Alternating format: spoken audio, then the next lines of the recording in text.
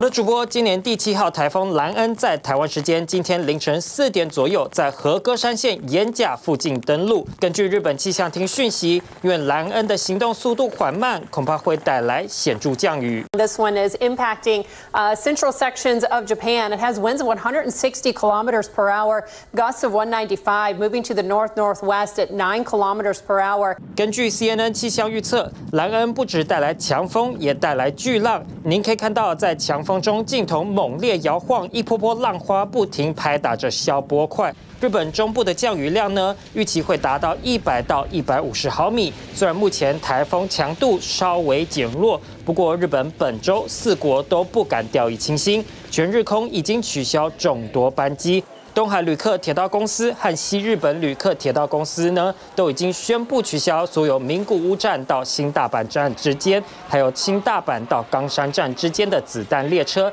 莱恩预计在明天台风中心将进入日本海。以上是为您掌握到的最新消息。想看最完整的新闻内容，记得下载 TVBS 新闻网 APP。